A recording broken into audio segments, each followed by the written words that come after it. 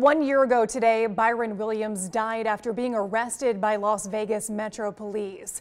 He said, I can't breathe 17 times before dying. Today, his family is still searching for answers.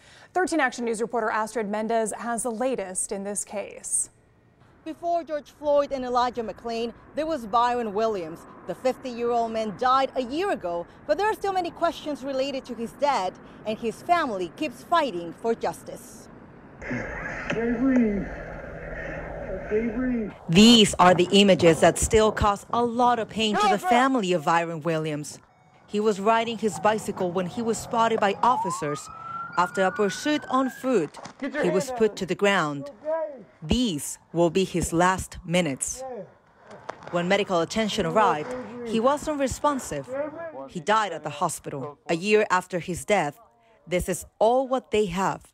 That's why today they, along with their legal team, made a call for further transparency from Metro Police and for the release of all body camera footage.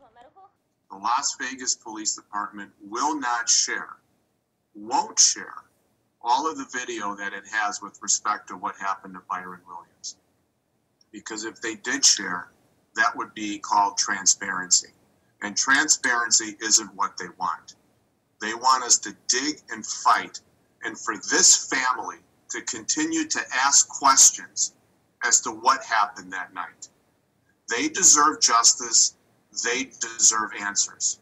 There is still a 14 minute span where police officers turn off their cameras before medical attention arrived.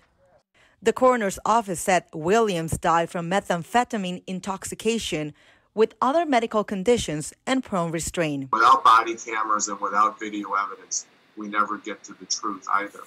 Because who would have been there to speak for Byron had those body cameras not been on for that little period of time that they were? There would have been nobody because Byron died. His family says is still mourning him. It doesn't get better. It doesn't, it gets worse, especially when we have not gotten justice, especially when there are so many accounts and, and people that are still being murdered in similar manners. Enough is enough and it needs to stop. Reports from Metro Force investigation team are still pending. I contact Metro Police, but I'm still waiting for an answer. Meanwhile, a wrongful death lawsuit is expected to be filed soon. But the lawyers told me that even though they prefer to have access to all the evidence, they will still fight it with or without it. And let me quote, fight fire with fire. Astrid Mendez, 13 Action News.